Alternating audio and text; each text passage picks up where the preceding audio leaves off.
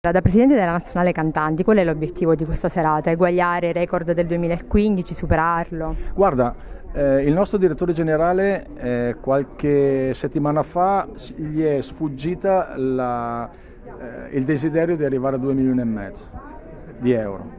A me andrebbe già bene i risultati di due anni fa perché Torino due anni fa e tutta l'Italia mandando gli sms ha risposto alla grande.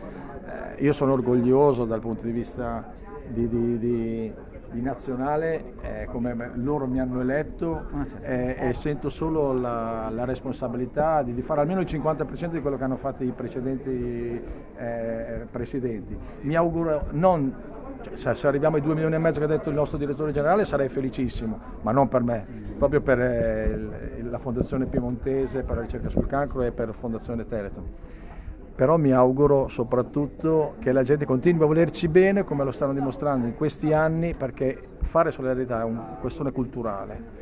E vengono a vederci che non siamo capaci di giocare, no io non sono capace, lui è fortissimo. E il fatto che la gente continui a venirci a vedere a giocare dimostra il fatto che noi siamo dei privilegiati perché riusciamo facendo una cosa ludica a portare serenità alle famiglie che poi sono coloro che usufruiranno del lavoro dei ricercatori. Altri eventi in programma con la Nazionale Cantanti?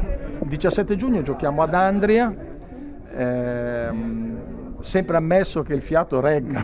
Ne riparliamo domani, diciamo. però la, la certezza è quella di questa sera. Chi vincerà stasera? Ma n- non lo so, io devo, lo, lo, capiremo subito dopo i primi dieci minuti, secondo me, perché non so esattamente poi le, quanto le squadre in campo siano equilibrate. Diciamo che eh, non è la cosa prioritaria diciamo, di questa partita, come sappiamo, no? il, il risultato. Quindi anche di questo ne parleremo dopo.